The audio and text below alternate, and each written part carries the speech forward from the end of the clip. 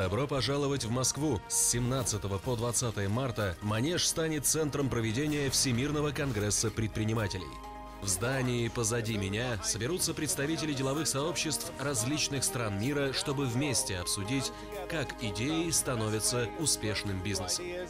Мне бы хотелось, чтобы каждый получил новые знания, новые контакты, новый импульс для построения бизнеса, либо для его развития.